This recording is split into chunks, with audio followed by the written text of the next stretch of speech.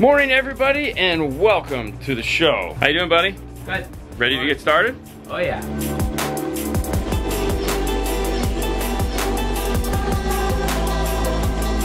Today we're going to be working on a 2019 Honda Accord. One of the unique features of the Honda Accord is something that a lot of cars are starting to move to, and that is the floating screen in the dash. We're starting to see that in the aftermarket side as well. We have a few manufacturers that are producing floating radios like this that'll allow you to retrofit your car to look like one of these newer cars. And this style radio does pose a few challenges for us in the aftermarket world. For one, we're not going to be replacing out this radio. It's got to stay. It's part of the car. All the data in the car passes through this radio. Air conditioning, drive control, gas. Pretty much anything that you're going to be doing in the car is somehow going to be integrated into this touchscreen. So what that means for us is that we're going to be integrating into the factory systems in this car. So we're going to have a lot of testing we're going to have to do to do that. But before we get to that point, let's talk a little bit about what we're going to be doing in this car for this particular customer because he had a certain set of requirements that were important to him. Right off the bat, he wants bass because there is no subwoofer in here. It didn't come with the factory one. He's also got two kids, which means double the amount of fun that he takes with him. So he doesn't want a big box enclosure. He's also got this plastic floor mat in here that he wants to keep. We've talked on the phone about a couple of options, and one of the things that he would like to do in this car is a subwoofer that is down firing so that he can still put stuff on top of it and is a small footprint. So when it sits in the trunk, it's not gonna take up a ton of room and he can move it wherever he needs to in case he has to put kid stuff in the back, which he does frequently. The other thing is he really doesn't want to see any of the equipment. There's no room underneath where the spare tire is because it has a full spare tire that of course he still wants to be able to get to. We talked about putting it on one of the side panels here, up here somewhere, or over here. He wasn't too keen on that idea and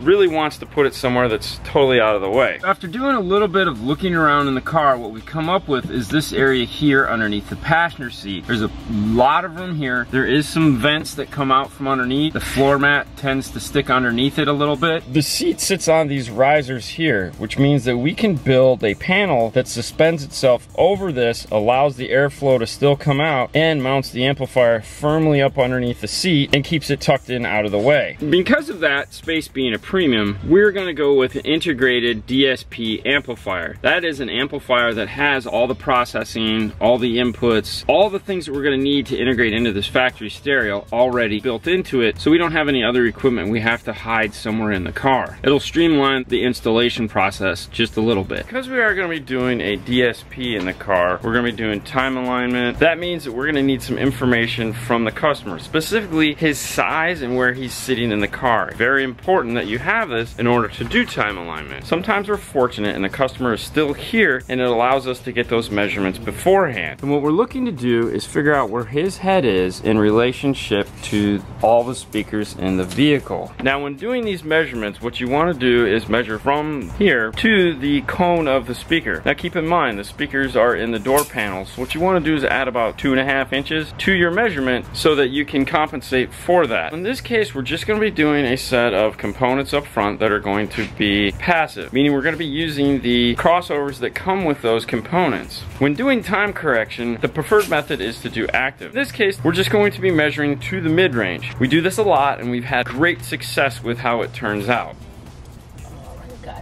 So once we get the measurements done, we're not putting away the tape measure quite yet. That just got us a little bit of a head start at the end of the installation. One of the other things we do is we measure the location of the seat. We have several key points that we do that on. And the reason we're gonna do that, as we're doing the install, this seat is going to move. So we have wiring that's gonna be running along this panel or maybe running along this panel. We wanna be able to put the seat back in the same location it was when he brought it in. Now, if we're lucky, it'll have seat memory on it and we don't have to worry about it. But in this case, this car doesn't. What that means is that we're going to take several different measurements for this install. We want to know how far it is from the steering wheel to the base of the headrest, how far it is from the bottom of the steering wheel to the crease in the seat, the headrest to the ceiling, front of the seat to the gas pedal, the bottom of the seat to the floor, both front and back, from the bottom of the back of the seat to the ceiling, as well as the front of the seat to the ceiling. That way we can move this back in to the exact position it was. We also gauge on how big the customer is when he's sitting in the car because we need to still be able to tune the car. As you saw, he is a tall gentleman. We'll have to make sure we shim ourselves up in the seat so that when we're listening, we're at about his head height.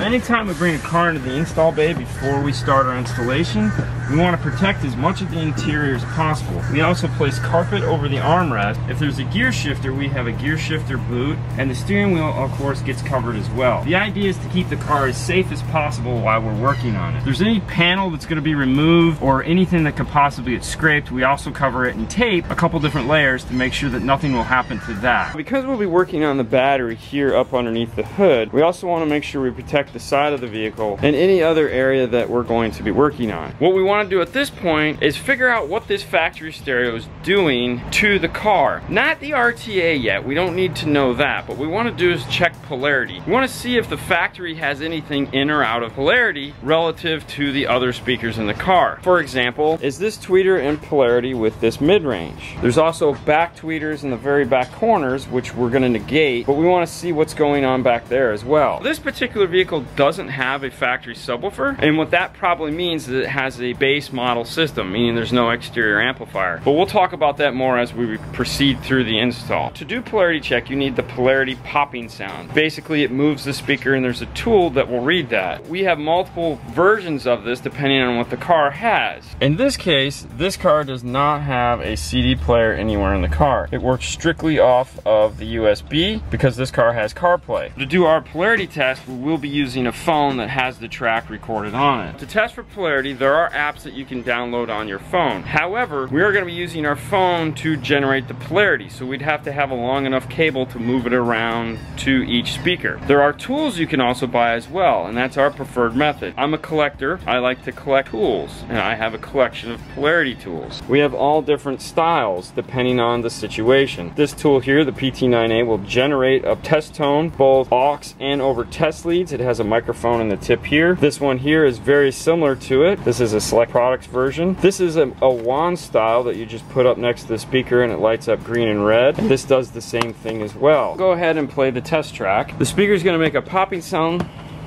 we can put our tester to it and this track puts out a green green red pop which we're seeing here tweeter is doing green green red we'll move on to the mid bass mid bass is doing green green red we'll check the rear of the car also check the far tweeter now that we've done that check, we know that all the speakers in the car, tweeters in mid-range, are all moving in the same direction. Nothing that is reversed to its counterpart. Knowing that information at the beginning saves us a little bit of time at the end while we're moving through the car. One of the things that we talked about in this install with this particular customer, he's worried about rattle he realizes that there is going to be a certain amount of vibration in the door and he wants to eliminate that as much as possible. We're gonna do a sound treatment on his door. Now we offer a couple different sound treatments depending on your needs. In this case, he's selected our premium sound treatment. And what that's gonna consist of, the actual door panel itself, we wanna go over any of the seams that the door panel has, make sure that they don't rattle. We're gonna concentrate on the actual mount of the speaker as well as behind the speaker on this exterior of the door, which is where a lot of the rattle comes from. We're also gonna be doing the rear deck. We do the backside of the rear deck completely along with the rear deck itself using a couple different materials along the way, which we'll show once we get to that portion of the install. For speakers, he is going to be doing a set of components up front, as we said, and a set of coaxials for the rear. Even though the rear is a factory component set, he really didn't see the need to do that because he's not super excited about rear fill. He does have kids that are gonna sit back there, but most of the time they have their headphones in and they're listening to their own thing. He just wants it for the effect. When doing a system like this, if you look at it on a sheet of paper, it seems pretty simple. Install a five channel amp, set of components up front, coaxials in the rear, and a subwoofer. That's really about it. Reality is though, it's a much bigger process. Installing that amplifier, it's a full DSP amplifier and it has to integrate with a factory stereo. We're doing sound treatment on the doors, very time consuming process. Time management is crucial when doing a job like this. We have a certain amount of time in which we need to finish it. Once we're even done with it, we're not technically done with it yet. We still have a couple hours in which we have to sit in the car, what I like to call debugging, testing, and tuning. Getting a plan from the get-go together and starting on it is important important. One of the things we do right when a car comes in, along with all this testing, is we spend a couple minutes going over the criteria of the car. Now we need to spend some time going over with my partner Fernando what he's gonna be responsible for and what I'm gonna be responsible for. That also means where he's gonna be at in the car relative to where I'm gonna be at in the car. He's gonna start on the sound treatment. We do have to go over what's actually going in the car because although I've been telling you, I've been neglecting him. We're gonna do our premium treatment package. We wanna make sure we cover all the joints on here do this focus here and of course get the whole inside skin of the door panel as much as possible. We're not doing the back doors because there's no speakers in here, but we are going to do the rear deck. Let's put select on the top. We're putting the Tempo Ultras in here with fast rings. We'll have to figure out where we can put the crossover. As far as integration goes, I have to get the dash apart and figure out what's going on there. We're going to be mounting the bass knob in underneath that USB. Everything is going to go underneath the passenger seat. Okay. So what I'm thinking is we'll build a floating amp rack off of the floor so that the mat still goes underneath it, which will also allow the heat and air to come out. He lives in North Carolina, not here in Florida. We want to make sure that still functions. And then power wire coming this uh, Yeah, driver side. Power wire will come through the driver's side, Okay. unless there's a hole in the firewall, which I haven't checked yet. There, there is a giant grommet there. I have to get the glove box out because the ANC mics that we have to disable, I Right. believe are below the airbag and above the glove box. Yes. I think on the last one we did, that's where it was at in the newer vehicle. So what I'm thinking is starting on the driver's door Okay. or the rear deck. I was thinking start. Well, I have to do all the testing, so I got to get the radio out of the dash. I'm thinking we save that door for last once I go to start doing the amp rack. I think going in the natural transition, go one, three, four, and Yeah. then come back to two would probably make the most sense. Just because I, I don't think there's anything I need to do on that In side that of the car. side. Okay. And you're going to have a couple hours on that. I don't think there's anything we need to pull apart on this side as far as flow rails go, because the subwire will go up the passenger side here. Correct. And then the signal. Yeah. come up with a strategy as far as what we want to do. If you heard me say one, three, four, two, that's how we refer to the speaker positionings in the car. Driver one, passenger two, three and four are the rear. There again, it goes one, two, three, four. That is a pattern that we talk about anytime we're doing an amplifier, speaker locations, wiring on the radio. It's just something we've come up with to make it easier to understand instead of having to say passenger, rear, drivers. He's gonna start on this door, getting it apart, getting me that factory speaker so we can figure out what kind of paneling we have to come up with because one of the things we're not gonna do is chop up the factory speaker or anything hokey like that. If it needs a panel, we'll build a panel. Before we get started on this door, we wanna talk about tools that you're gonna need in order to perform said task. This is plastic, this is vinyl, it scratches super easy, so you need a tool that's not gonna scratch it. You just don't grab a big flathead screwdriver like this and start going at it. Also, this is a panel clip remover. This is designed to go behind a panel and pull a panel out, not come at it from the front to pop it out. For that, you need something that's made out of a soft material that won't scratch the plastic. We have a couple different versions of it. This is a giant panel tool. The reason why this is cool, because in certain situations where you need a tool like this because of its strength, you can use this tool because of its strength. In finer detail work, we have these two guys here. The white is the softest of the two. If we're doing something that we're really scared of scratching, we use this tool because it can get in there and this will break, chip, or bend long before the plastic panel that we're taking out will. Then this guy here is one of my personal favorites because it's nice and rigid, it's very soft, and it can get into places further up in that a normal tool won't do. That's not to say we don't still have a bunch of the little blue ones because those are specialty. They can get in and do a lot of neat things. Now, there is one other test we do, but we had to wait until we get the driver's door panel off in order to do that. And that is testing for ANC or automatic noise cancellation, some people call it, fake engine noise. There's a ton of different names for it, but basically it does one of two things. One, in the case of what Honda usually likes to do, it pumps in noise that is designed to kill cabin noise. Think of it as like a set of noise canceling headphones, but in the whole car. The second is if you have something like a V6 engine and the car manufacturer wants it to sound bigger and meaner, then they'll pump in like a growl sound into the speaker. Either way, all of them are a headache when it comes to adding a subwoofer, especially in the Hondas. Now, not all Hondas have it, and you want to test for it. What you're gonna need is something like this, which is a handheld RTA. This is gonna allow us to do, see the signal that's coming to the speaker, and as we rev up the engine or make noise in the car, it will react accordingly. The reason why we needed to wait until the door panel is off is so we can get to these front speaker wires in order to do the test. Put some test leads onto the negative positive speaker wires here. Then those are gonna get plugged in. Next, you wanna get into the vehicle, roll up all the windows. That's important because controlling the windows actually will turn it on and off. Make sure the trunk is closed, make sure the seat is folded up. Connect the RTA and rev it up. That's something you don't wanna see. That means that there is ANC in this particular car. Now another telltale sign for it is usually there's microphones in multiple locations in the car, such as up here by the handles. Usually there's one in the back somewhere. Depending on your make, model, and car, there are certain ways that they can be disabled. Usually in the Honda Accords, there is a silver box that just gets unplugged and it shuts the whole thing down. In some other vehicles, you actually have to go into the programming of the car and shut it off. Some of them it's just as simple as going to the microphones and unplugging them. Each car manufacturer likes to torture us in their own specific way. The reason why we use this particular RTA, this one does not have a microphone that is actually active on it. And the reason why is you can pick up noise over that microphone that mimics ANC. Most customers are not even aware of this. So when you tell them, oh, your car has, they're like, what?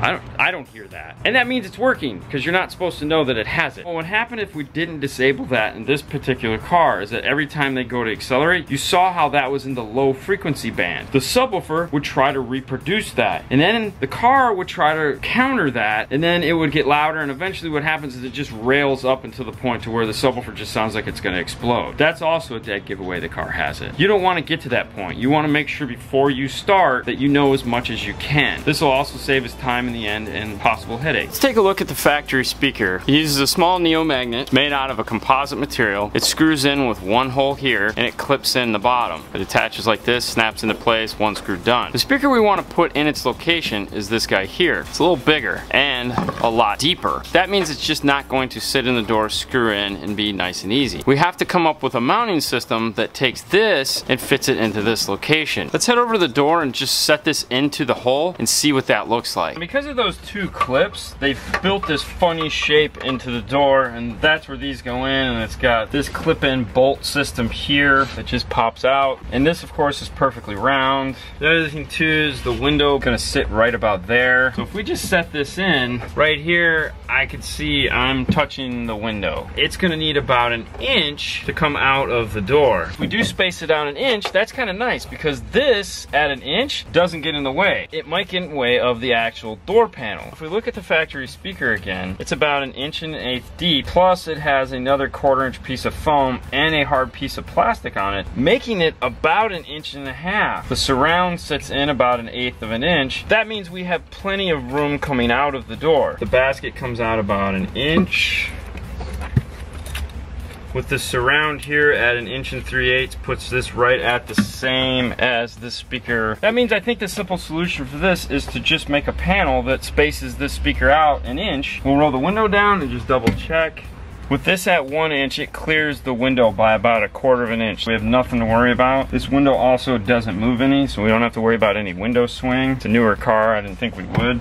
One of the things we do have is this guy right here. This is to add a speaker to the Hondas. It's only a half inch thick though, but it's designed to mount the same way. It has the same clips in the bottom. It allows you to put a screw here in the top and it'll snap into place. Our speaker will also fit in this mount, but it's just not tall enough. But that does give us an idea. We basically just need this same shape, but we need it an inch thick. We also need some way to attach it to the door. These clips, though are really cool for this light lightweight speaker, this speaker weighs a lot more and is going to be moving a lot more too. We're gonna get a lot more bass out of this speaker than we were getting out of this one. Being able to copy this shape and just make it bigger does seem like a good idea. So we can use this for our template. We wanna take this to an inch. To fabricate that, we're gonna use this stuff here. It's called Sintra. It's a blown PVC. We're going to cut four of these out and stack them on top of each other to get them to the desired depth that we need for those speakers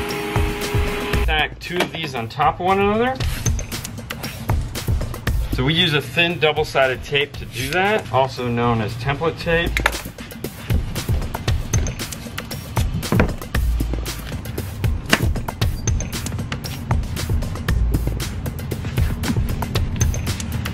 I'll go ahead and cut off any excess tape that is around here. We don't want it to get gummed up into our router bearing. Because we are gonna be using both inside and outside of this template, we'll drill a hole in the center. Before I get started, I like to check my bearings to make sure that they haven't seized up from the time before. Just roll them to make sure that they're still spin and that there's nothing on the bearing.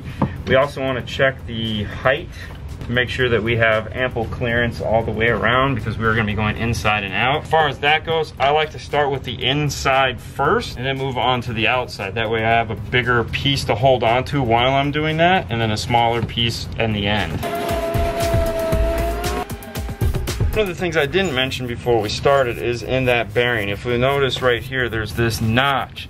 If the bearing is too high, it's gonna eat that up. So you wanna make sure when you're doing it, you check all sides, kind of do a general like looky round. Before we make the second one, we'll go ahead and pop this one off and do a test fitting to make sure that it actually fits. This speaker does have a logo and you may or may not be able to see it through the door. But what that means is this panel is going to attach to the door. The speaker is going to attach to the panel. We don't want to put the screws where they're going to get in the way of each other. There's a hole here from the factory that we're not going to be reusing. For mounting it, we're going to mark our screw holes in the top down left right position and we'll use these corner spots here to mount this to the door. Let's go take it over to the car and double check. All right, so this fits perfect. Pull it back apart. The tape is not made to hold this thing in place. And though the screws once put in will hold it in place, we're just gonna put a quick bead of CA glue on here to hold these two together. Move it around just a little bit to make sure you get the glue everywhere it needs to be. Now CA glue requires an activator in order to have it stick together. For this we'll be using the aerosol. We'll let it set for a couple minutes to dry and then we'll drill our holes. One of the things working with plastic is you should always drill your holes. Don't just drill right into it. It doesn't like that. We'll pre-drill the holes that the speaker is going to screw into. Then we'll put some bigger holes that the bolts that are going to pass through will screw into. We need this to be perfectly flat on the top. So we'll also add in a little countersink here. We want to make sure that we went in deep enough for these to fit in, and we did, because we want to make sure, like I said, that this is perfectly flat on here. How we're going to fasten these in the door is we're going to use these guys right here. This is called a nutsert, and it's basically a rivet. This area here is designed to crush. They thread into a tool, and then once the tool is applied, it crushes them into the metal. And what that gives you is a screw in that is reusable. So you can screw it in and unscrew it as many times as you want. Makes servicing the vehicle super easy if need be. And of course it looks a lot nicer than just putting a drywall screw or a self-tapper into the vehicle. So nutserts have become super popular. And for this installation we're going to use this guy here which is a pneumatic version of it. Because we can easily get to it. It's in a door. However, there are some situations we want to use it that this obviously won't fit into. For that we have this here which is designed to attach the end of a drill drill. This gives us length, so if we need to go down into an engine bay or over into a side panel, or we just generally need reach, we can use this guy here. In some applications, we don't have a lot of height. We need to get in like this and squeeze. And the most popular version is this one here. Put it in location and you squeeze and it'll apply the nutsert. Having a variety of tools that perform the same task just in different ways is helpful to make the installation the way we want it to be in the end. One last step that we want to do to this panel before we take it over the car is apply a thin layer of foam to the backside of it. And I mean thin layer of foam. We use a 30 seconds of an inch foam on the back and front of all our panels that are going to attach to a car for a speaker. We've tried all different sizes. We ordered in eighth inch, 16th of an inch. And the problem we found is that speakers like this that are made out of a composite material usually are thinner than this of course, but they twist and they bow around where the screw would go in. Obviously that can't be good for the prolonged performance of the driver, so we settled on this size in order to avoid that. We're gonna just put it on the back first so that we can get this attached, and then once we go to add in the speaker, we'll add it onto here. Let's head over to the car and get this fastened.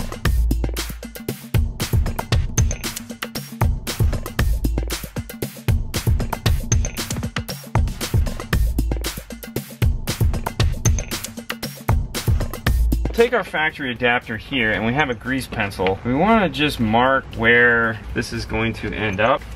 Now we can line up ours. And we just want to score where we need to drill holes. Thread the nutsert onto the gun. Push. Then back it out of the hole. Then repeat the process. And then slowly work your way around. Don't tighten them all the way all at once. Add in our piece of foam front of the speaker. Now the other thing I did when I was marking this for where I want the speaker to go, I put marks on tops and sides. That's to show where the hole is that we drilled. If we just had a mark on the front after putting the foam on, you'd never see it. The next thing we want to do is kind of a crucial step. We want to go ahead and screw the speaker in. Not permanently, but just screw it into place. The reason for doing this is so that we can put the door panel on and make sure that it clears and that the speaker isn't rubbing at all. So take a bright light and shine it into the door panel. And what you want to do is see where the mid bass is. Now that you know that you're not going to have any hiccups once you're done with the door panel putting it back on, you could remove it back out. One other thing that we're going to add to this speaker is fast ring. If you'll notice here on this factory speaker, it has this layer of foam. And what that's designed to do is when it goes back into the door panel, it goes into a cavity and this gasket allows all the energy that this little guy is creating to come through that grill. The speaker we just built, it doesn't have that. What we're going to be using is a product called a fast ring. It comes in three pieces pieces that do three different things. The first piece is this front piece, and this is designed to mimic this gasket. It comes bigger than it needs to be so that you can actually cut this to length, because we're only gonna need this small amount here. Granted, we're gonna mount it to the door like this, so we'll cut it, and that'll help our speaker couple with the door panel. Then you have two back pieces. This one is designed to go into the door panel to help absorb vibration, and then this piece here is designed to focus that energy into the absorbing panel. Now how these three pieces work, take this piece piece here it's going to go in and stick to the back of the door panel here. The skinnier one is going to go in and mount to the inside of the door. There again, it may need to be cut depending on where the window comes down. And in this case, it's going to need to be cut probably to about an inch. Then the front piece we're going to use to attach around the outside of our speaker bracket. You don't want to stick it to the outside of the speaker because if you have to replace the speaker, you would then have to replace the fast ring. It's foam, it easily stretches into place, and then you just keep wanting to push it until it gets onto the metal like this. You need to just trim this up about a quarter of an inch. To do that, have a sharp razor blade, work your way around gradually, and now it will match up to that factory depth. You definitely want to trim this. You don't want to leave it full length. What will happen is if it's too long, it will actually roll in on the speaker and crush into the surround of the speaker and that'll damage the speaker. For the back, you're going to do the same back panel is the exact same idea. If this thing is too thick or if there's a bar behind that runs across here, you just want to cut this to the appropriate length. Our window comes into the inside of the door. This guy mounted all the way into the back. We're not going to have that problem. Line it up with the center of the hole and just push it into place. And what you'll end up with is something that looks like this. One of the nice things of getting this on before you put the speaker in is that you'll know that you'll be able to get the speaker back out if you should ever have to service it. Like we said, we're doing a set of components in this door, and that means we have the crossover to contend with, this little cool box here. More and more speakers are breaking this into their dedicated pieces. They're doing away with the box, which as an installer is like, yeah, right? In this case, we don't have that. There's a couple different options as we can do. One of those is mounting the crossover in the vehicle somewhere. That can be tricky. The reason for that is this guy right here, the door boot. This is what passes the wires from the inside of the car to the door. Depending on the car manufacturer, that can be doable or it cannot be doable. The reason why, some car manufacturers, the door clips in. It's a, it's a straight up plug that it just plugs into and there's no extra wires. Some cars, the plug is in the car. It just depends. There's a lot of scenarios. If it's something that you can't run through, then you're gonna be mounting that crossover somewhere in the door or somewhere in that door panel over there. It doesn't hurt to see if it's something you can do first, getting that wire through the door. And I can actually reach up into the dash and put my finger in there, so that's telling me that the plug is a little bit further back in the dash. For that, we're just gonna use our standard wire fish and see if I can fish this through.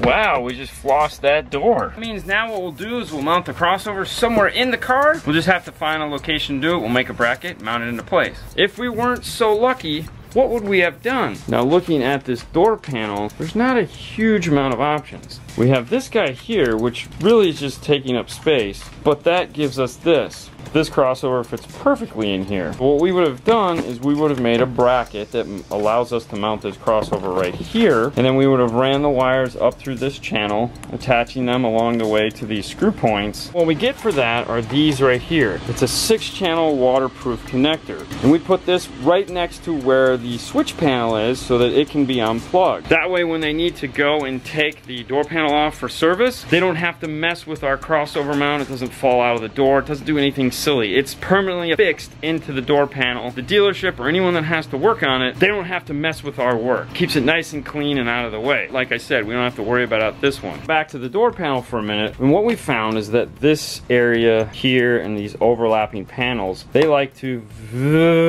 which is really kind of annoying. We had sound treatment now to prevent that, and we've had a lot of success with it.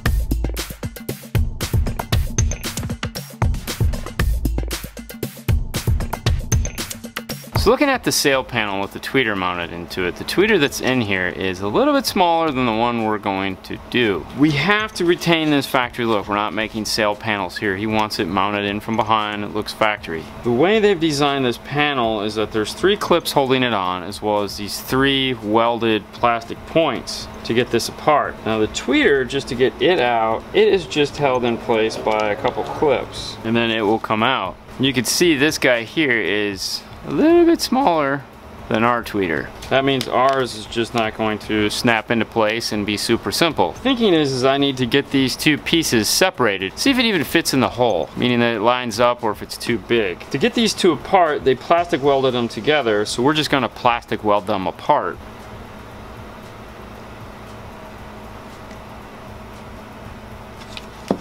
Now once we get the two pieces apart, we have the mounting bracket and our tweeter is still a little too big for this hole. In fact, it's about the same size as this hole. But the real question is, does it marriage up to this hole? And to see that, we need to go ahead and pull this grill off. Bring our tweeter up from the back side. It actually fits perfect. Now we need to figure out a way to get this tweeter to suspend right there and also this to snap back in place. Let's see what this looks like when this is inside of here and it mounts up flush with this internal lip. Let's start by making this hole as big as possible. Size of these tweeters, there's two little teeth that stick down. I want to draw them onto here so I know where they're at. I'm also thinking I can remove this outside here and bring this down about an eighth of an inch and my tweeter will snap right into place. Grinding away some of that to make room for this to snap in. Let's put it back into its little pod here. Snaps right in. Look at that.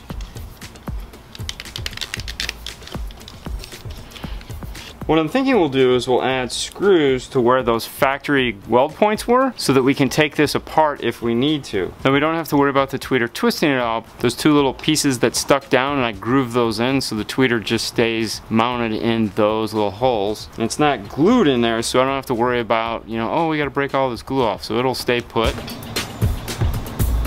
So what we'll use is a small quarter inch screw with a star locking washer on it. Now the last thing we want to do is put a clip on here so that like the factory it just um, unplugs. Once you're done soldering and you put your heat shrink on, you want to wait a couple minutes in order for this stuff to dry and become nice and hard before you put your tape over it. It's still kind of gooey and you don't need the two of them like sticking together or bending in some strange way. Now as far as the tape we're using, we use Tesa tape. There's two different types of Tesa tape. You have the interior fuzzy style and you have the exterior non-fuzzy style. One you can easily rip, the other one you have to cut with a pair of scissors. We live in Florida. This stuff here, this doesn't hold up this well. We primarily use the exterior Tesa tape on everything we do because it doesn't get all gummy and gooey. Put a zip tie in to hold the wire in place so that it doesn't get yanked out. And there we go. Tweeter's all set. Factory mount. Snap right back in place. We have the door back together. We were able to run in two new wires for our crossover. So we have a new mid-range wire in place here, all set and ready to plug into the speaker. And we have the new tweeter wire here that we added our clip on so that if this needs to come off for any reason, it's still serviceable The last step is to get that mid-range screwed in and get this door panel back on. The back of the door has all its sound treatment back on it. So that finishes up the process for the front doors. Because we know this as ANC and previously we found it up behind the glove box, it seems like a good enough place to start on this dash assembly. Now they have this nice piece of painted material up here. We don't want to have anything happen to that, so we put some blue tape over it. There's a panel here that looks like it needs to be removed. We'll take our same panel tool and remove it.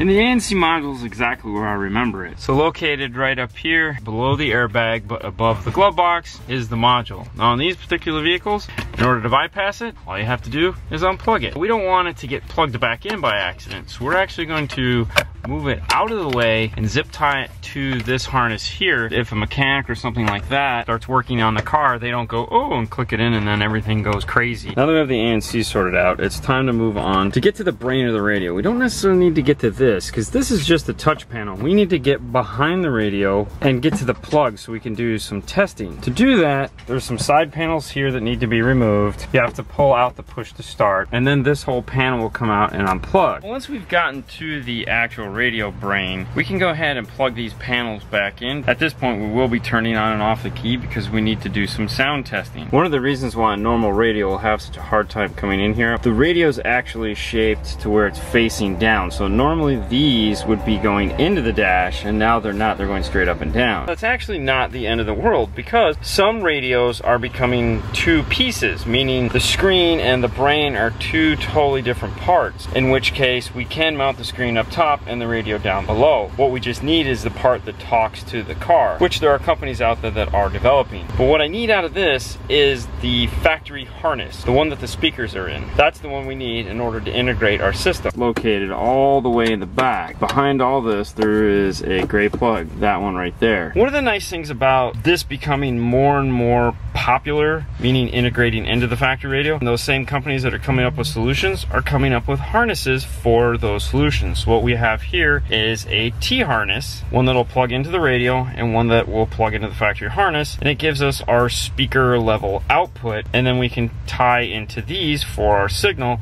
without having to get into the dash and cut that harness up. We don't want to do this, it's a brand new car. To use this, this comes with a bunch of wiring that we won't be using. We're not going to be using the product this attaches to. Once we validate all our testing, we'll go ahead and pull this all apart and just have the wires that we need. But for now, we're just going to get this plugged into the back of the radio, or in this case, the bottom of the radio. Now because the manufacturers really don't want us to do what we're doing to this car, they've gone ahead and made things increasingly difficult for us. One of the things that they've added into the mix is what's called load resistance. Load resistance is the speaker connected to the radio. It sees that as a load. When that load goes away, that channel shuts off because it feels there could be something wrong. In order to protect itself and not blow up, it just turns it off. The other side effect to that is, is that load also smooths out the sound of the amplifier. In some cases, when you don't have that load on there, the amplifier ramps up and can and cause the tweeters to make funny high frequency noises. So you have to be real careful there. There are ways to test for that and we're going to do that now. We also want to make sure that there is in fact no amplifier. And that's going to be the first test we do. So let's head over to the toolbox and grab some tools. The first thing we want to grab is just a tone generator. What a tone generator is designed to do is just that. It creates a tone and we should hear it in the speakers. So that's telling us right away we have no amplifier. Now we want to grab the RTA. Now to perform this test, this RTA is connected to the driver's door that does not have any load resistance on it from any speaker. This one is connected to the passenger door, which is active right now. And what we want to do is see if there's any differences. Both left and right appear to be playing the exact same. We can look at our peak light indicators here and see if they match, and they do. We're also looking at the signal that's coming out of the radio. There's a huge hump here, dip here, dip here, and then some bass roll off through there. It's not the best signal I've ever seen, but then again, it's not the worst. We can EQ it and fix that. Now, one of the tests that we need to perform on the output of the radio is how much voltage is coming out of the radio that's going to be going into the input of our amplifier. Amplifier. This is a very important piece of information to know. You don't want to put too much voltage in. For example, if it will only take 6 volts of input and you're putting 10 volts of input, you're going to hurt the amplifier. To test for this, we're going to play a 1000 hertz test tone out of the radio. We're going to use our digital multimeter here set to AC, turn it up and see what happens. Now make sure when you do this test, you have your speakers disconnected.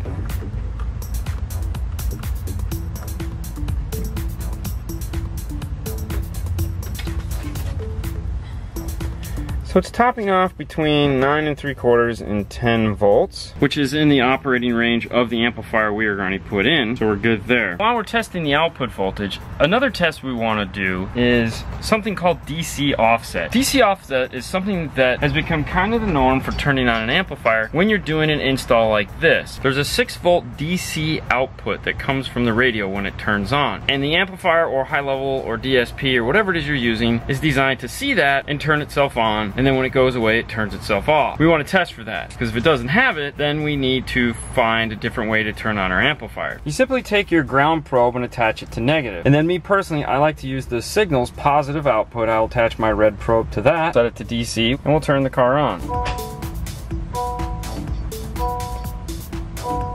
And immediately we see voltage going up and it just stops somewhere right before or at 6 volts. Now as we can see the radio is on, but the audio is off. And this is where this gets tricky because a lot of things still pass through the audio section of the radio such as Bluetooth navigation, which still has to function even though there is no source plane on the radio. We still see this current. Now we'll turn the car back off.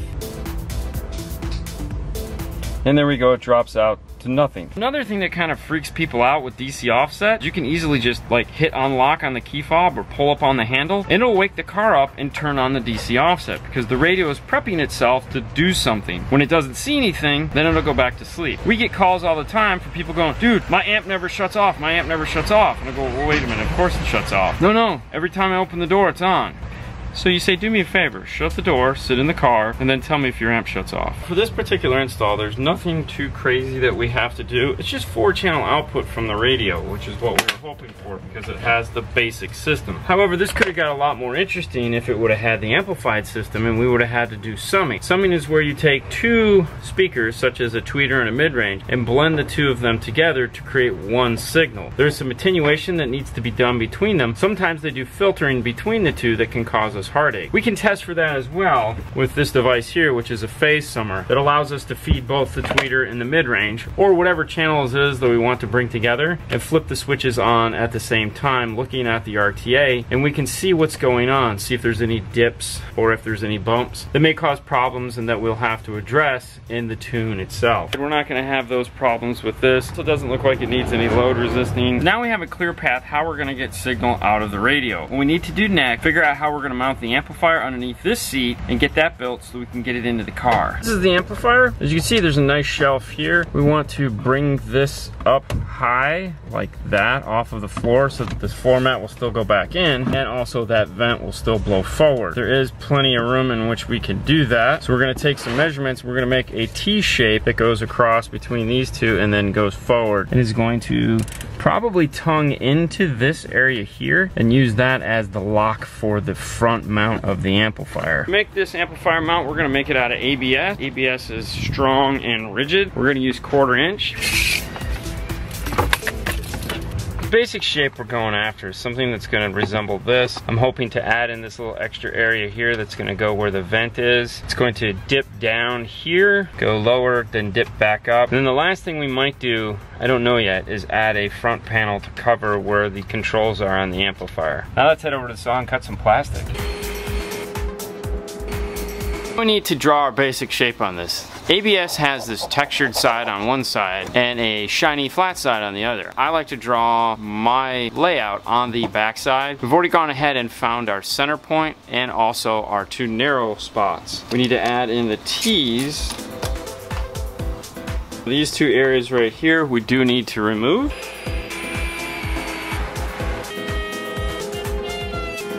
While we were over there cutting this out, we also went ahead and added a round over to this front lip here and all across this top. The reason why we went ahead and did it now before we actually get to our final shape is that this isn't going to change here across the front or on the sides. And once the bend goes into this, we're not going to be able to router it. Now as far as the height goes, we need to get it about a half inch. So we're going to use this piece of Sintra as a shape and then we'll use the two pieces to actually pinch and round it in. To heat up our corners, we simply just use a torch because we're actually going to be bending about an inch. And if we were to just put it onto the plexi bender, it wouldn't give us the double bend we need.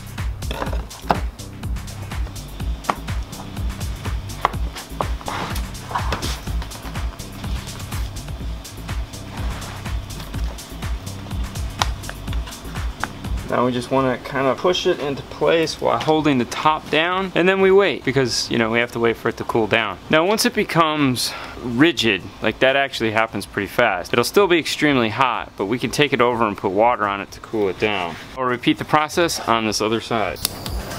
Now the next step is to remove the area that will allow this to tongue into where the air vent is. And that is this spot here and this spot here. And this is what we ended up with. We also went ahead and rounded this over as well and did a full round over on this side so that it will slide into place. Now let's take this into the car so that's exactly what we're looking for. What we need to do now is drill out these holes here, make an indentation for this and that on both sides.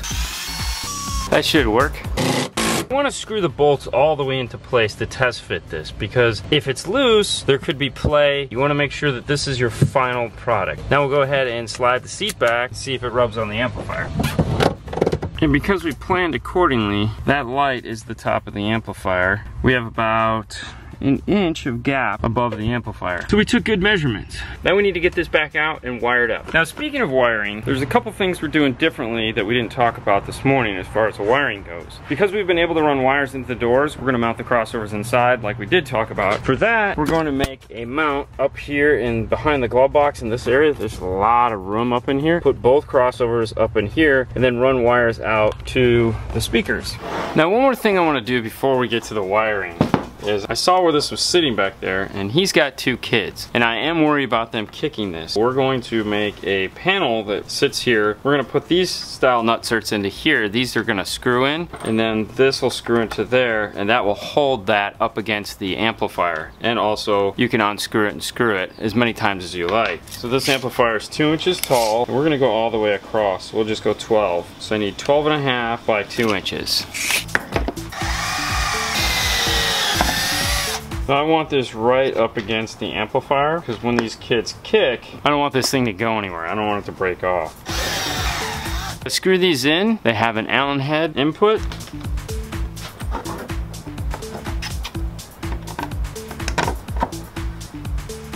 We have a nice panel, nice and rigid. Kitties can kick the crap out of it. We've also sanded these flush so that they don't interfere with the floor mat. One of the things that's unique to this particular amplifier is that it has no fuses on it, which isn't all that unique per se. They give you this with these instructions telling you that this needs to be mounted back by the amplifier. So you need one under the hood and you need one back by the amplifier. Just in case you're one of those people that don't read the instructions, they make it abundantly clear that read those. What that means is that somewhere on this, we need to put this fuse holder. This is gonna be straight across here, so we don't really have that room. I don't wanna put it here. So looking at the car, it could mount right here below the amp board, something where the amp rises up like this. I have a little bit of room here so I can make a piece of plastic that comes off here at an L and this attaches to just like that. And then there's enough room here for the wire to come up and go into the amplifier. And this of course will go off into the car to go to the battery. So now we need to fabricate this little L bracket here. Now what I want to do is put something underneath it to kind of get an idea of how high it needs to be so I can get my measurements. That's about the right height. So this is what I'm looking at and I've gone ahead and round over these sides again but not this because this is going to need to screw in. Because this is a longer piece and it needs to be very fine where the bend is, we're actually going to cut a 16th of an inch in here as a marker. Once hot, and there we go.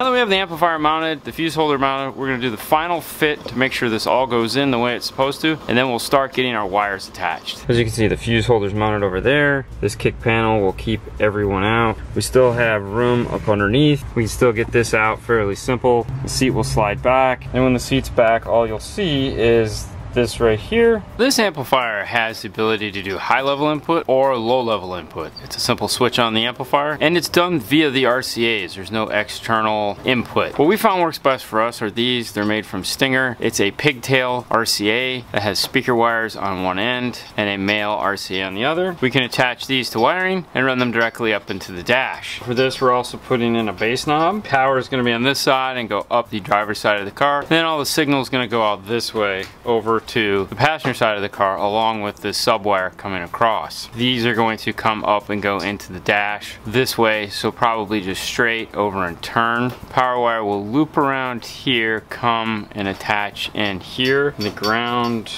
may follow it the same way and come down. 12 is first, ground is second. We might put them up on a vertical to bring them around into this. But regardless, let's go ahead and get some wire and start getting some stuff in. I'm gonna start from this side and work my way across that way. First thing here is the subwoofer wire. For that, we're gonna be running a 12 gauge wire that's going to go from here all the way into the trunk. So we're gonna need about 10 feet of 12 gauge. For all the wire we're gonna run through this install, it's all gonna be covered in either some form of sleeving or it's going to be insulated in some form of tape. It just gives it a more finished look and of course protects the wire. Because we need this to come out of the amplifier and immediately take a turn, we want to stagger the wire tips here. As you can see when you bend the wire like this, one immediately becomes longer than the other. We want to avoid that because then they don't go in properly. So we'll just shorten that one. Make sure that they're both the same length now that they're turned. Because this type of terminal is a set screw and twist down. If you just put the raw wire in there, it's going to tear the raw wire. We use our product called a ferrule. And what it's designed to do is sleeve over the wire to protect that. And they have a tool that crimps it into place. Put some heat shrink over the ends. Now the reason we're putting this tape here is because now what we're going to do is we're going to drill zip tie holes extremely close to this so that this guy can get pulled in nice and tight and we don't want the drill to scratch it. Because this is going to be a floating amp rack, we can put our zip tie heads, that's this bigger area here, on the bottom of the amp rack because there's going to be nothing there to hit them. Cut them flush using a set of flush cutters, otherwise they will hurt you. Anytime you have a fuse holder that comes in a kit, always tighten the fuse. You don't know if the guy tightened it up, he might have been having a bad day at the factory, so make sure you tighten it. If it's loose, it's going to vibrate around and it's going to burn the wire up. Now just like the smaller wire, we have a ferrule for it. And then when we add our heat shrink, we have custom heat shrink made that has our logo on it. And of course, they're all the right colors so that people know who put it in. Once it's cool to the touch, tighten it down. We went ahead and also made up the ground version. So we'll do the same thing. This line here is where the wire has to stop. So I'm thinking that if I stack them on top of one another, they'll both do the turn here. I might notch this right here so that the wire turns better, but let's get this front half done first.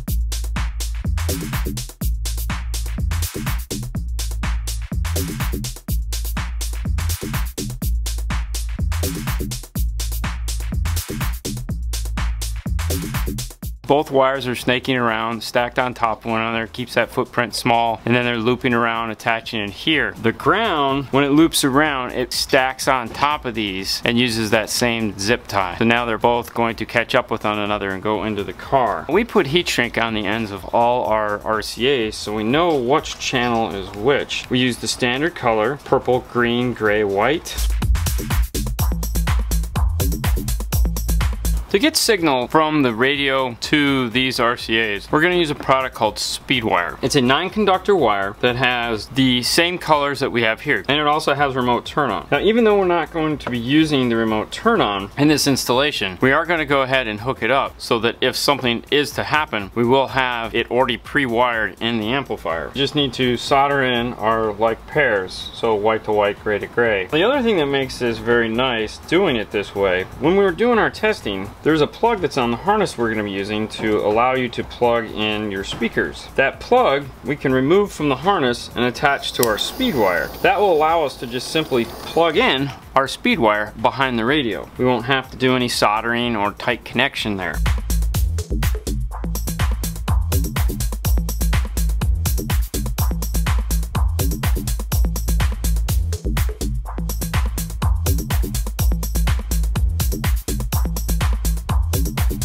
So I took a quick moment to go look at the car to figure out which way I wanted to route these wires, if I wanted to come this way or if I wanted to come this way and turn like this. And I've decided that this would be the best course. So now we're gonna bring this wire around and it will also follow suit like that. And then our speaker wires will do the same thing. They'll come down this center path right here. Doing that, we're gonna be using these holes, the same holes we're gonna be using for this. So they're gonna be sharing a hole. So when you do that, you have to be real careful on where the head goes. On the back here, we've already done that. Where the moat turn on runs next to the subwire. And you notice the way the two heads are. You have to make sure that they keep going in that same direction. Could drill a hole here if we wanted and lock in place and just keep going this way and have no issues. If we have to go this way, you always have to start like this and then move your way out. You'd remove these and replace them. We have a white and gray 16 gauge that we've covered in shielding. Now we're gonna apply the ferrules to the end as well as color-coded heat shrink to match the corner of the car that it's going.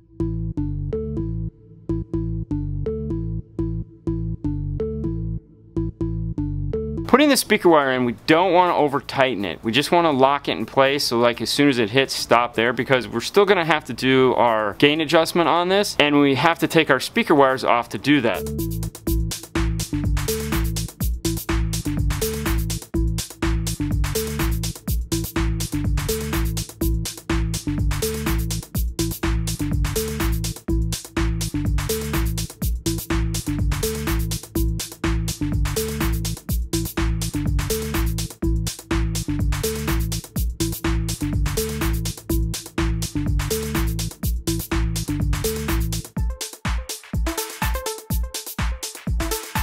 And there we have it. The amplifier is all set and ready to get installed in the car. One of the things to think about when you are putting the zip ties in place, where we soldered these wires together here, we want to make sure we don't put a zip tie over that solder joint. Put it before it, put it after it, don't put it at the solder point. You don't want to crush that down tight with a zip tie. Now one of the things I'm told unique is about our installs is the way we actually run wires. I build the amplifier amp rack, put it in the car, and run my wires out to everything in the car. I know a lot of installers will will run the wires to a central location, sit in a very uncomfortable place for many hours and wire it up. When I was doing all my custom fabrication, it was easier to put the amplifiers in after you cover the pieces and build out as you go so you could, like Legos, drop these pieces into the vehicle with the product already on it, wire zip tied up. That has evolved on into what we're doing now where we're making these complex shapes to mount amplifiers in the vehicle, zip tying the wires into location and getting it nice and pretty on the bench and then running them forward into the car. One of the nice side effects is we spend less time in the vehicle because we're doing all the work here on the bench. Starting on a rear seat disassembly, especially where you're planning on camping out in there for a while, doing sound treatment, it's best practice to just go ahead and remove the whole back seat, top and bottom. Even if it folds down, remove it. You don't want to sit on the back of the seat. Seats aren't made all that great. These hinges aren't super strong. They're not made for someone to be sitting on them. And it's a simple enough task of just removing them. It's like three bolts in this car. Once removed, you can sit back here all you want. Now, if you're worried about your knees, because sometimes these back areas are sharp, use a moving cloth put down here on the bottom, and you won't have to worry about that.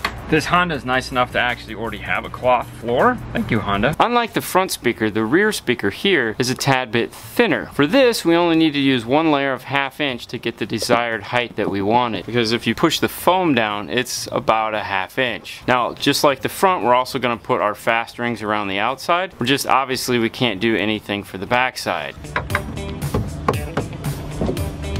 Now one tip when putting in your sound treatment, don't cover up the factory wiring. Pull it out and clip it back into place. This stuff still has to be serviced after we're done playing with it. We need to make sure that it's capable of doing that. Don't cover up any holes. Make sure you leave areas where if there's a clip, you can clip it back in, just like here. And then while you're doing it, just kind of hit the surface. Make sure what you're doing is actually making a difference. This is only half of the sound treatment we're doing to this. We're also going to be doing the piece of plastic that goes over it. And for that, we'll be using a different style. It's gonna have a foam backing along with the butyl. We've added in our pads to this to make this a lot more rigid so it's not gonna vibrate. And then we've added in our fast rings and cut them to length with the rear deck when it goes back on. All that acoustic energy will be forced up through the rear deck. And if you're somebody that likes rear fill, you're gonna be really happy. So even though we don't build boxes here in the actual install bay, we do have a facility that builds the boxes for us. We just have to send them a blueprint of what we want and they'll go ahead and build it. So we have to still figure out what we want the box to look like, how much airspace we want and all the stuff that goes into actual the box. What I like to do is draw a basic outline of what I want the box to look like. It's a downfiring box for a subwoofer. It's a very common application that we do here because we have a lot of people like this gentleman that want cargo space and they have stuff to put in their cars. We also do a lot of Jeeps and these work really well in Jeeps as well. So we have a basic shape. What we need to do now is just add in the numbers so that this box can be built for us. What we're trying to do is hit the target one cubic foot of air airspace for this woofer. But it's just a matter of doing the math. We want the box to be about 24, 25 inches long. We don't want it to get too wide here. I'm thinking max of 15 and a half. And now we just need to figure out how high it can be. I also like to have a minimum of two inches on my legs on the bottom of the box. That way we can add in plastic risers when they're down firing. I like to put plastic risers on the bottom of the box, especially like in Jeeps or something like that where it could possibly get wet. I don't want them to soak up the water. That's gonna give me roughly five and a half, which is my target number was. Now we know what we can write in on this so that we have the measurements that they can take and build off of this. Now what I'll do is I'll take a picture of this, send it over to our guy, he'll build the box for me and deliver it to me by the end of the day. Now we have to mount the sub knob. Now this is a big sub knob. It's almost as big as like a DRC DSP controller. Now the customer has criteria as far as what we can do with this. He wants to be able to access it, but he doesn't want to modify any of the existing panels. Like there was one spot spot behind the cup holders that it could have gone. So that left us one other spot for it, which is here in the pocket below the factory USB. It's not in too deep, so you still have access to it. Looking at the pocket, it looks like it this top piece comes off after you remove these two screws. Let's give it a go. So now that we have it apart and I'm looking at this, and this is an okay position for it, but this area up here looks way more appealing but the USB's here. What I think we might be able to do is move the USB down to here. Now the only problem with doing that is the way that this USB integrates in with the car. It is super tight. It was very hard to get this out of here. So we'd have to come up with a way that makes this easy to get to. I think by moving it back an inch might make it okay, but we will have to cut a tunnel in here to do it so that we can fish the wire through, pull it out the front, and snap this in all at once. I'm thinking what I can do is take the thicker one inch plastic that we have and just tunnel in it a groove that this whole piece will assemble itself into. So we have this thicker stuff here, which if I hold it up to it, it's a little bit bigger, which is perfect. Now I could use a router to just tunnel a groove into here, but it's gonna be L-shaped on either side, and I feel the table saw would be more appropriate for that. So we've made the tunnel wide enough to fit in, but now we have this top portion that we have to cut grooves for. So we have it fitting in perfect. Now what we need to do is cut the rear to length so that it'll snug up in there. Fits in there pretty good. I think I just need to shave an eighth of an inch here off at the back because I want it to tuck up in there a little bit. That gets us right in there. What I want to do is I want to finish off the front because I need this to snap into place. I can't just attach it like this and then put the plug in while this is assembled. I need to pull the plug through and then have it clip in. That's the only way that this is going to work. So I'm going to cut a face out of eighth inch and attach it to this. What we want to make sure that this does is locks in place but still comes out because to service this you're gonna have to pop it off here from the front.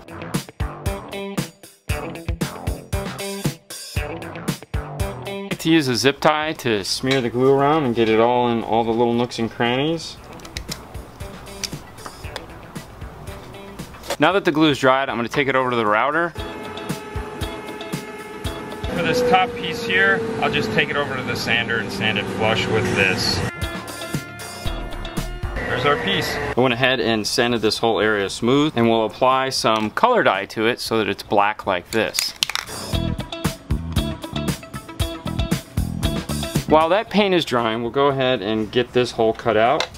For that, we'll start by covering it with blue tape. We'll take our grease pencil and mark the area that the old mount was in so we know what we have to cover.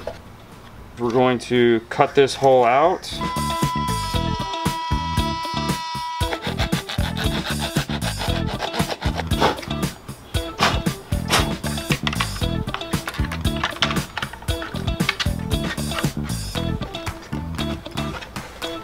Nice and flush, snaps right into place. Finish this up, let's go ahead and get our USB mounted back in place. Put the tape on here so that I have a guide for where I'm going to drill my holes to screw this in. Now because I won't be gluing this in place, I'm to be using this Tesa double-sided tape. It's super thin and it's super sticky and we use it anytime we have to tape plastic together.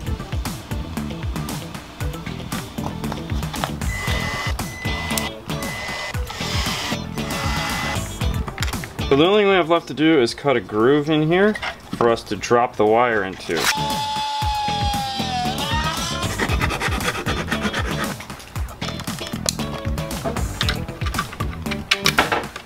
It's like it was made to be there. Very cool. All right, I'm gonna get this put back together. Placement of the fuse holder underneath the hood is crucial when installing any form of 12 volt product. Your motor has to be still serviceable, meaning you have to be able to get to all these, you have to work on the engine, you have to be able to take the battery out of the car. We mount all our fuse holders using quarter inch ABS somewhere in the area of the battery. Hondas aren't the most trickiest because they usually have room around their batteries and they have a long battery mount. That means we can make a ABS panel that's gonna put the fuse holder right in this area here. Also what makes this fuse holder unique, I like like to use it is the base comes off. That means that they can remove the panel we're putting in and set this aside if they need to or move it over to the side Why they need to do any work on the battery. So here's the shape that we've come up with. We'll put a washer onto the battery, then the piece of ABS, another washer, tighten it down into place. See it clears everything we need it to clear. Just get our short power wire run into here. We like to use red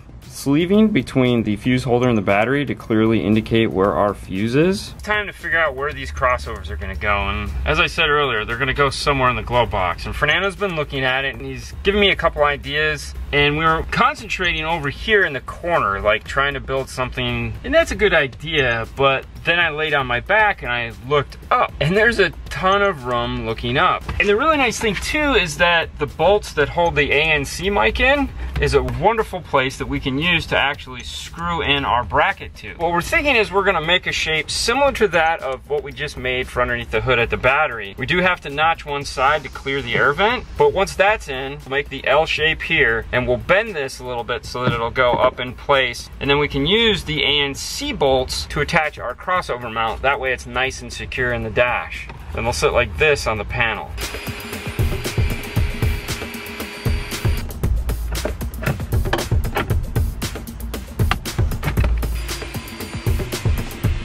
What I need to do now is cut two grooves here and here so that this will slide in between the ANC module and the mounting bracket.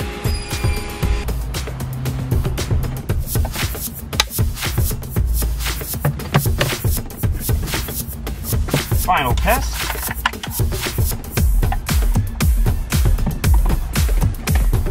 Yeah. Here, take a look. The two bolts here from the module. Bent piece of ABS goes in. We'll run the wires down and attach it to this existing harness right here. I love it when a plan comes together. Since I'm over here in the dash, there's one piece that I still need to put together, and that's the harness that we have plugged in right now, that T-harness. I need to unplug it, strip off all the wiring, and make that cleaned up so that we can use it for this application. Now let's head over to the bench. Installing right now is definitely a lot different than when I started. Back then you just had catalogs and you'd look through catalogs and you'd find parts and every now and then you'd get a phone call from somebody that sold parts. It's not like that anymore. Nowadays, you spend tons of time searching the internet for parts so that you don't have to damage factory parts. Case in point, this nice T-harness right here. Now this manufacturer doesn't intend us to do what we're doing with it. But that's okay. All we want is these two ends right here. That's it, that's all we need. We'll figure out the rest on our own. I was buying harnesses from Europe because they needed them for Bluetooth. It's the same harness. There again, I just need the wires. So we were bringing in European harnesses for the American cars so that we could integrate in and not have to cut the harness. Luckily for us, the owner of the store is down with doing that. He sees value in it and he can express that to the customers. Especially on something like this, it's a 2019. You definitely don't want to start cutting harnesses in this car. Once we remove their power wiring, we're going to go ahead and cut this and reassemble it.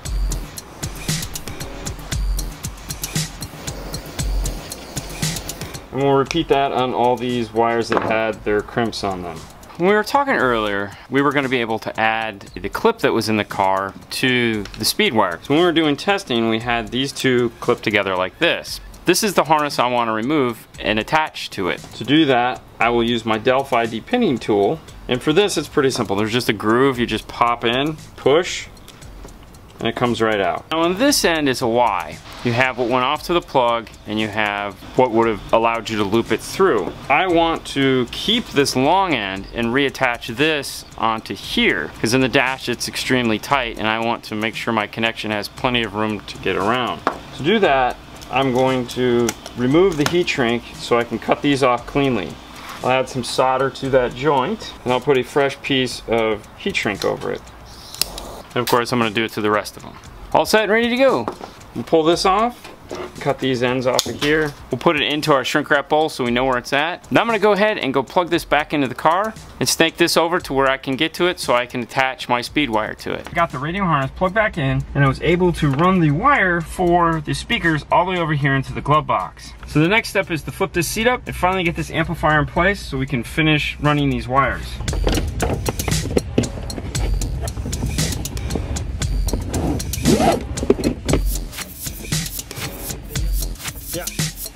What's up? The amplifier is in place and the wires are all ran. Power wire went up the center console along with the bass knob wire. This is the bass knob wire zip tied in. The ground is also located in the center console. We retained a factory ground point for that. Power wire is this braiding along over here that is zip tied into the main wiring harness and then goes up through the firewall. Wire comes through a grommeted hole in the firewall following that main harness and then making the turn into the firewall. Comes through the firewall, lines up underneath this main harness here. You can start to see it just there. Comes around, zip ties into place, and terminates at the battery. As far as the other side goes, all our speaker wires and signal wires are coming along here into the harness, this plastic piece right here. They run along and then they come out and stop right here is where our speaker wires are located. These are going to attach along with these to our crossover network. And then this is the speed wire. We just need to add the other plug so that we can plug it in. Rear speaker and subwoofer wires are running towards the back, which we'll get to in a little bit. Along with the box being downfired, easy out of the way, he also wants it easily removable and he wants all of it removable. He also wants to take the wire out of the car. He wants us to put a speaker cup in the trunk here so that he can put his wires in and take the whole thing out. We're going to mount this somewhere over here in the side. To do that, we need to make a whole back housing so that this isn't just, you know, we don't want it to pull out. So we have our Mobile Solutions template, two and three quarters. Plan is to router out this shape and then put a backer on it. Well, you know what? Let's just head over to the router and I'll show you what I plan on doing. We want to make sure that when this goes in, these beaker slide-on terminals aren't going to touch anything. So this is about the right size here.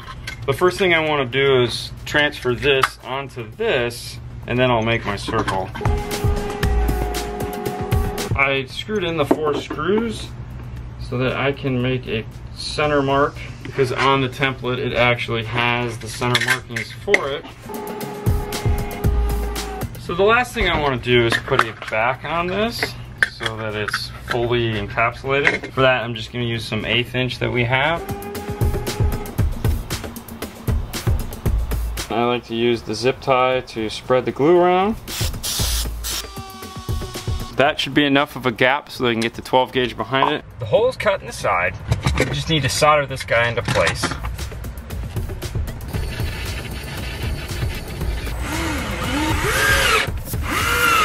So the box is in, exactly what we wanted. We went ahead and added a brace, forgot to include that in the drawing, so we put one on both sides. We have a dual 4 ohm subwoofer here, and we need a 2 ohm load at the amplifier. We're gonna run two 16 gauge over to the subwoofer, and what we use this for is to hold our speaker cup while we're soldering onto it. Slide it into place, tip it just the way we like it, I also like to add a layer of tape on the inside, more for cushion than anything else, just in case someone grabs the box and starts shaking it. I don't want these wires all flapping around inside of the box nice and padded. Now the reason why I use two different color wires, it's just a mental thing. I feel like they should be two different color wires. I think if you look at it, you'll know you have a clear left or a clear right, especially on some of these woofers here, where they'll have like a lead here, here, here. It just makes it easier. The last thing we want to do to this enclosure is add in a set of half inch plastic risers to the bottom. The last piece of the puzzle is the subwoofer wire that's gonna go from the side here to the box. What we've done is we have put our logo, heat shrink on it, logo on top. That way, when you put it in, the logo is always on the top, and that'll make sure that you get the positive and negative correctly. And then we'll put it into the box, and there again on this side, logo on top, and he has what he asked for. We finished up the wiring in the back, we color coded them, and we added clips so that they can be disconnected if need be. We also finished all the wiring in behind the glove box. We have our connection made for our speed wire. And all the crossovers are mounted and zip tied into place. He has kids and one of his concerns was the kids ruining it. This is with the panel installed. Go ahead and slide the seat back. And now when the kids are in here, they're not gonna damage it at all. And you still have all that air travel. But now that the amp wires are all ran, I want to get this center console back together. Now me personally, I'm anxious to get this USB into place and the bass knob plugged in. And one of the reasons why it is so difficult in this car is that that USB wire is super short. Barely comes into the pocket, let alone far enough to move anywhere really cool. So as you can see here, this is the farthest this comes out. You have to like snake it into place as you're sliding this back into the dash. I went ahead and put one screw in. Now I'm gonna snap the piece on and slide it all back into place. Success, it snapped right into place. Now we're moving on to the next step, which is the after test. Meaning we did the pre-test, we did the install. Now we do the after test, where we go ahead and we do all our battery of tests to make sure everything is functioning the way we want it to. And then we move on from that to the actual tuning of the car. First test that we perform right out of the get-go is the polarity test. All right, so the bottom one is green, green, red.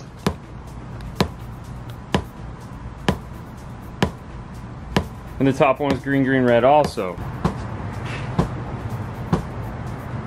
All right, we got green, green, red. Perfect. When testing the rear speakers, little trick, you can actually come up from underneath and it should flash the opposite. Perfect. Obviously it's gonna do that because this is positive movement, that's negative movement. And it's sometimes a little bit easier to do it from the trunk side. All right, we got green, green, red. Last speaker. All right, we got green, green, red. So that means that we got it right. High five, Fernando. But that's not the end of the road as far as testing goes. At this point, we move on to a much more basic test, the four corners. We just wanna make sure that we got all four corners right. However, we're not gonna do that yet because we're gonna plug the amplifier in. The DSP software in this amplifier allows us to test the outputs before we start to tune to make sure everything's right. So we're gonna skip that step. We're gonna make sure that the bass, mid, and treble in the radio, if it has it, is all set to flat. All right, we're on flat there. We'll check our balance and fader, make sure it's set to flat. What we want to do is plug in in our laptop, you power up a DSP, DSP amp, or anything like that for the first time, it's always going to want to do a software update. Let it do it. You definitely don't want to mess around with something that's not up to date. It will create all kinds of problems for you. Firmware update successful, select OK. Every DSP, every DSP amp is gonna ask you configure it. Configure it is the process it takes to direct the sound that's coming into the amplifier to the outputs of the amplifier. Every DSP software does it a little bit differently. We try to download download and play with as many DSP softwares as we can get our hands on because we don't know what the customer is going to walk in the door with and we want to be prepared for that. For this particular amplifier, it's asking me the question of fader on, fader off. We want fader on, we're doing rear speakers, and where I'm going to be getting the subwoofer from. Now we looked at both the front and rear on the RTA and they were the same. On this page, this is where it's going to allow us to identify the speakers. Makes a toning sound. This driver's front. Yes. There should be three. Yes. That should be the four. Four. Yep. There should be two. Okay. Yep.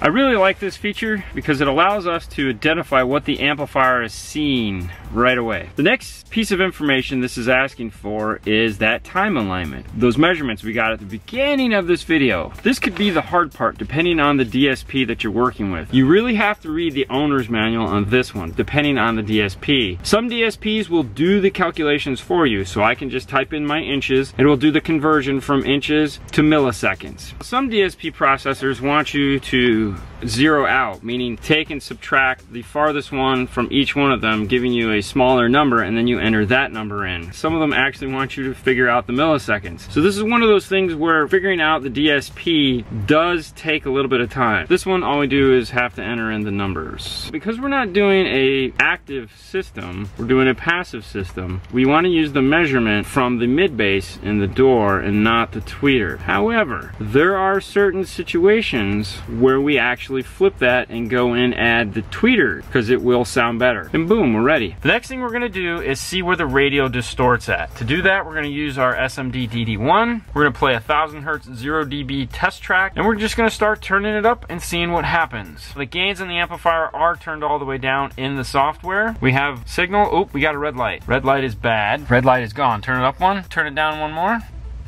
All right, where are we at? 35. So that means that radio maxes out at 35. So anything above that, it's gonna start to break up a little bit. For this amplifier, the gains are adjusted through the DSP. We just wanted to find out first where the radio is gonna break apart. So while we're doing our, our next test, which is gonna be using pink noise in order to set up the DSP in the amplifier, which is these guys here. So we're gonna be using a DMRTA in the car, microphone up because he's a really tall guy, and that's where his head was. And then this laptop will be controlling the software for the DSP amplifier. This is what we're looking at coming out of the speakers right now, and specifically this is the driver's front speaker with no EQ applied. What we want to try to do is kind of smooth this out a little bit. This seems kind of unnaturally high here. We kind of want to bring that down, take care of this little bump right here. And how we're going to do that is by adjusting this. This is a graphic equalizer, which means there's 31 bands, there's 31 channels, raise and lower accordingly. This is not a parametric, so we will not have the ability to adjust Q and make fewer measurements. This one's going to take a little bit longer. When looking at the DMRT, I do like to switch it out to 1 6 scale. Makes it a little bit finer. You can see these bumps a little more clear clear.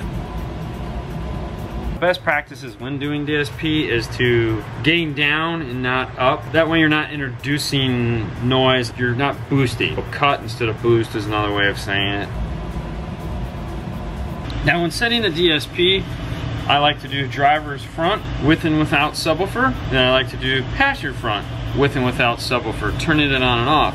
And one of the cool features about the DMRTA is it gives you the ability to ghost in a preset. I can look at my ghosted image of channel one here. Now I can play two. I can play my passenger side now and compare the two images together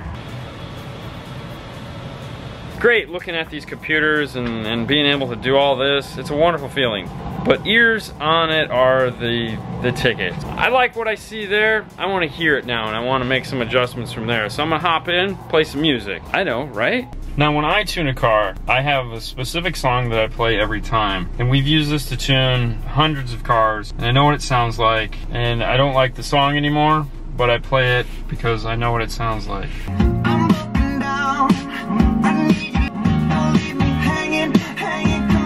Single point in the center of your soundstage.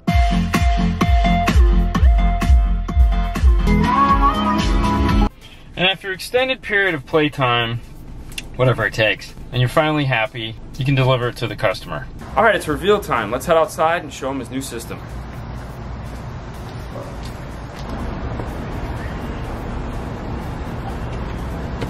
So here's all your empty boxes. Right. If you don't want to take them with you, we do have a dumpster over there. Uh, Uh, that's entirely up to you. Here's all your old speakers.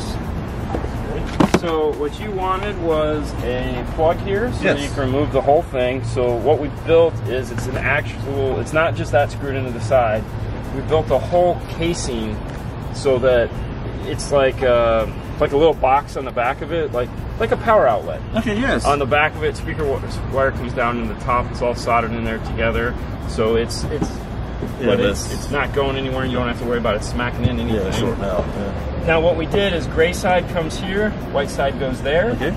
And they're color coded obviously. And if the logo is facing up, then you're going the right direction. Sounds good. So we made this ABS panel here.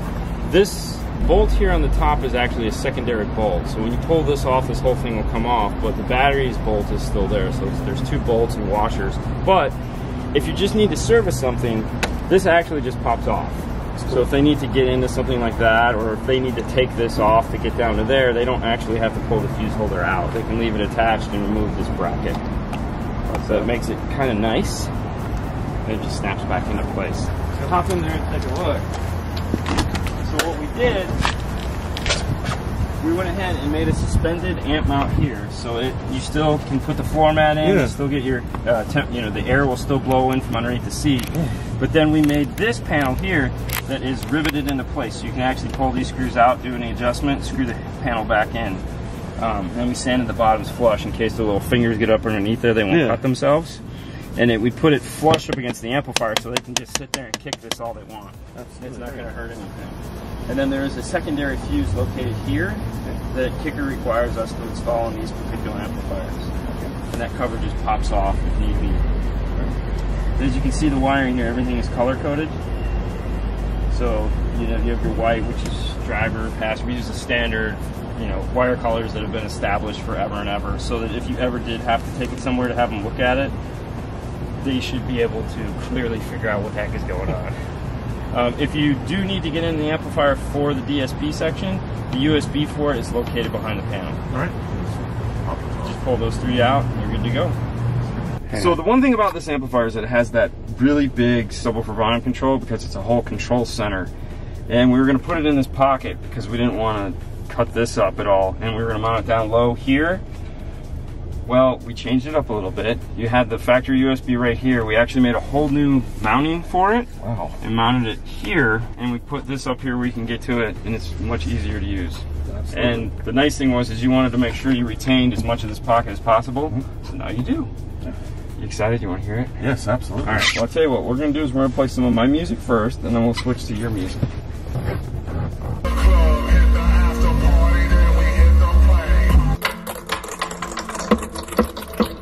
Does it sound like the little nine balls rolling all over the front of your dash? Sounds like a, uh, it could be a bad day if that the stereo was no one else hearing that. all right. Well, let's go ahead and play some of your All right. stuff and make sure it does what it wants to. Absolutely. Uh,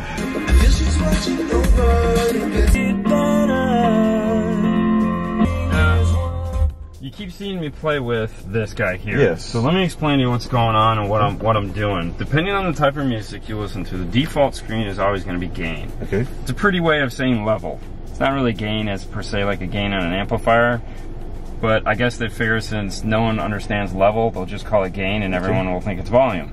So this indicator obviously low, high. Next is going to be boost. Now boost, center frequency, and width are three things that play hand in hand with one another. Okay. Boost is the overall um, amount of effect that it's giving you on the center frequency, which is obviously the lower here to higher. Gotcha. And what the idea behind this is in your car, if you looked at the output of this factory radio on an RTA, it goes from high frequency to low frequency and it goes yay, yay, yay, yay down. So it has a steep roll off starting at about 60 hertz Ooh. and just goes. So when it's at 30 hertz, there's pretty much no sound coming out of it. That's why this feature in this amplifier is awesome because it helps to fix that. Uh, because it's designed to be a bass restoration device, and when you're feeding it no bass, that's what it's made to do is actually bring that bass back. So frequency, the lower it is, the more it will you know, it goes towards low frequency, the higher the higher frequency. In this case, you're probably going to be using it in the lower frequency because you're wanting to bring those back. And then width is the next one. Oh, I'm sorry. Width is the next one. If you see a dot here, see a dot here. So what it's doing is it's doing this. So when you put them close together, that narrows the width. So if you're listening to something like a modern song that has a plenty of bass in it, you want your width to be narrow because there's tons of bass. You don't really need to have bass boost in it.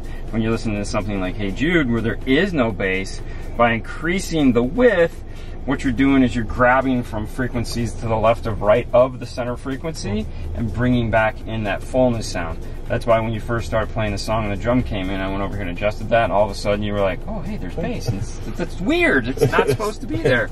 So that's what that'll do for you.